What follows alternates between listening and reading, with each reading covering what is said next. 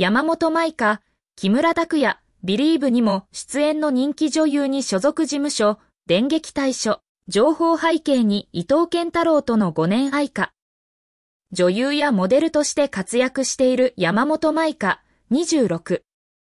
最近では6月20日に最終回を迎えた木村拓哉51主演のテレビ朝日開局65周年記念の連続ドラマ、ビリーブ君にかける橋。テレビ朝日系での活躍が記憶に新しいが、芸能プロ関係者はこう言う。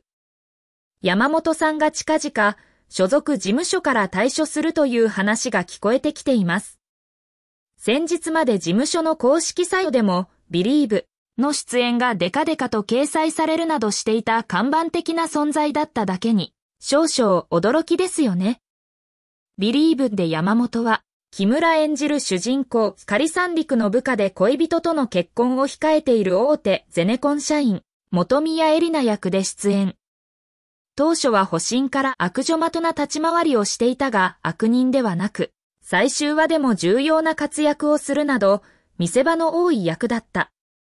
三元はその他、人気ファッション誌 AR5 月号主婦と生活者4月12日発売に登場したり、5月21日にはアンバサダーを務めている家庭用三つみ容器ブランド、ユライクの新製品、ユリルケア10プロの発表会に出席するなど、モデルやタレントとしての仕事も好調である。そんな仕事が順風満帆に見える山本さんの所属事務所からの対処話の背景には、交際が報じられている伊藤健太郎さん27の存在があるとも言われています。伊藤さんとの交際をめぐっては、事務所と一悶着あったとも報じられていましたね。全道。山本と伊藤は2019年から交際をスタートしたとされるが、20年10月に伊藤がひき逃げ事故を起こし、道路交通法違反で逮捕、後に不起訴。復帰後は地道な活動を続け、現在は信頼を取り戻しつつあるが、当時は伊藤が撮影現場で天狗になっていたことなど、悪評も次々と報じられたことで、伊藤の評判は地に落ちていた。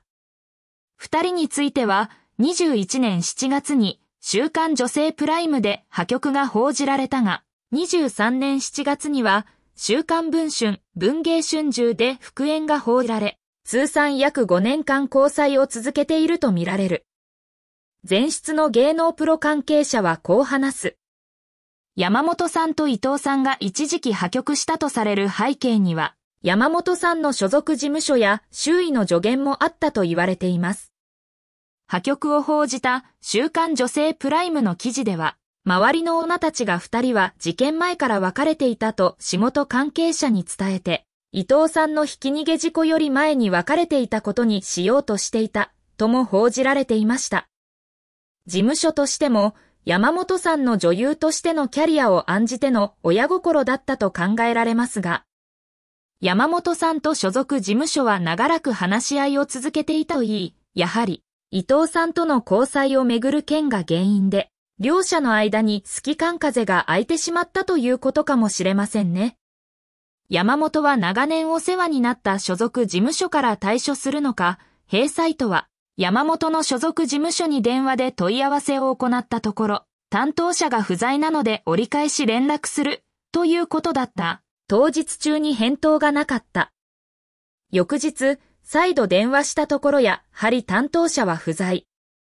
そこで、山本が退所するという話が持ち上がっている件をメールで問い合わせたが、期日までに回答はなかった。前出の芸能プロ関係者は続ける。最近は、多部美子さん、35や黒木春さん、34など、タレントが事務所から退所後、個人事務所を作って活動していくことが多いですが、山本さんは退所後、別の大手事務所と新たに契約して活動していくことになるとも聞こえてきています。伊藤さんとの交際は現在も続いていると言われていますし、伊藤さんは今、信頼を取り戻して再評価を受けている。昨年12月公開の映画、あの花が咲く丘で、くんとまた出会えたら、では助演ながら主演を食うような高い評価を受けましたし、先の4月クールには、ストーンズの森本慎太郎さん、26主演の連続ドラマ、街並み照らす奴ら、日本テレビ系に出演。本格復帰も間もなくの様子ですよね。長年交際する彼の仕事が順調になりつつある中での山本さんの所属事務所からの対処話、もしかすると今後、伊藤さんと山本さんの結婚というのも、徐々にリアルになってくるのかもしれませんね。全土。売れっ子女優山本舞香の新スタートが近づいている模様だ。20年10月に公開された映画、とんかつ DJ あげ太郎。撮影は19年でそこで山本と伊藤の仲は深まったと言われている。主演は北村匠海26。写真でも北村が真ん中の3ショット。